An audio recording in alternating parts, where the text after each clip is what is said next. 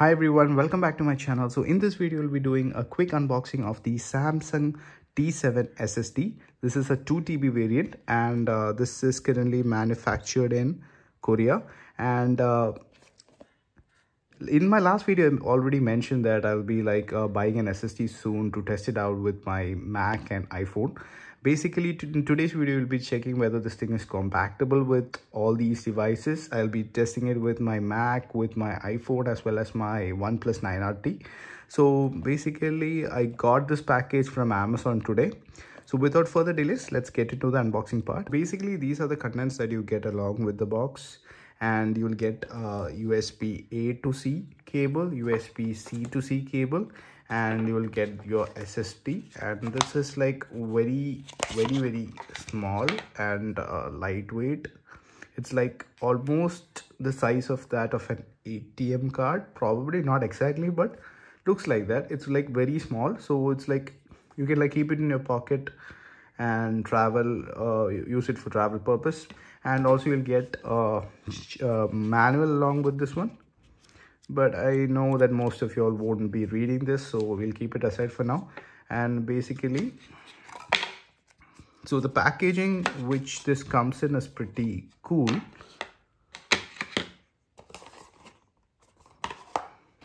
So now the important part is to test it and see whether this thing is compatible with the Apple devices. So, so that is the main purpose of like why I bought this. So let's test it out so now I connected my SSD to my Mac. And once you like connect it using the C cable you'll have a light over here blue which mostly indicates that there is like power to the SSD and once you connect it for the first time probably it will show this thing that is uh, whether to allow access or not. So I'll click on allow and now let's check and see whether this thing properly works or not. I see a blinking light over here. I'm not sure why that is. So let's see if this thing properly reads or not. So i can see uh, the ssd is visible in my desktop in mac and uh, on opening it i saw these three files but i'm not sure what it is. So i'm not gonna do anything as of now until i get more information regarding that. If you know what it is do let me know in the comments and now what we're going to do is that we're going to try and copy something to the SSD to see how whether this thing works. So let's uh, drag this particular folder. This folder actually contains a lot of my videos which I upload in YouTube so it has uh, sufficient size to test. So let's see if this thing works uh, or not. So let's drag and drop it onto my SSD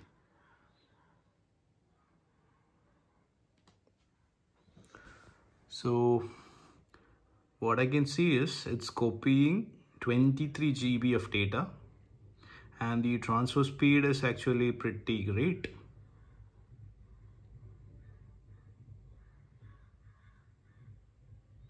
So it's saying about 10 seconds.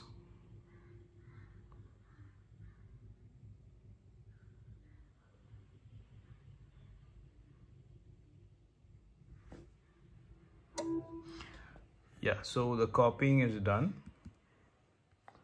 I'm gonna go inside.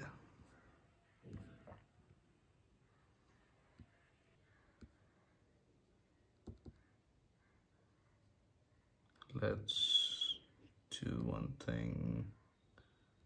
Let's play this video. It should be enough. No warranty I think comparative.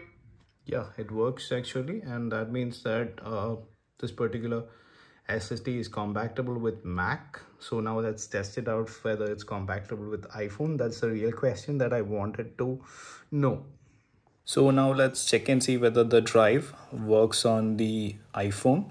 So firstly, we'll go to files. I've already connected the drive and it's already visible there. So what we'll do is that we'll copy something and see if that works because this is the biggest problem in iPhone, especially if you take a 128 GB, you won't have enough like size or storage.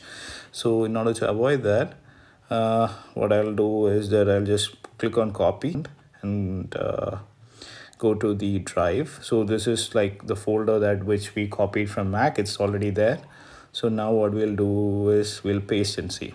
So it's pasted so that means that the copy paste this thing works. And uh, what we'll do is that we'll just open that folder which we copied from mac and we'll play some video. Maybe we'll click on this and play any videos to see if it works smoothly or not and it's there it's visible everything looks fine. So that means the drive actually works on my iphone which is actually one of the major reasons for me buying this one. And looks like it does work.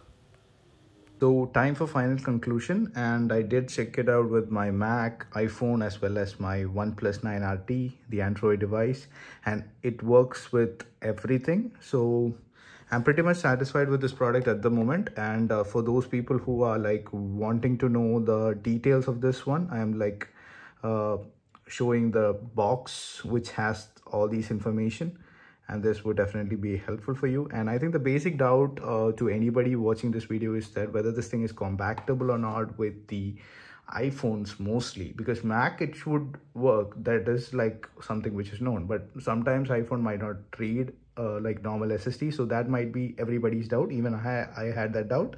And finally i like checked it out with everything and it works with every other device and uh, basically if you have a mac with like uh, 256 gb based uh, storage or an iphone with 128 gb uh, base storage definitely that is not enough. So for those people definitely you can get an ssd and this particular version is like 2 tb and um, there is like a 1 tb version also. So if you prefer that you can like get that. But i would definitely suggest you getting a 2 tb version because definitely uh, in the longer run it would be helpful so that's it. Thank you all for watching and stay tuned for the next video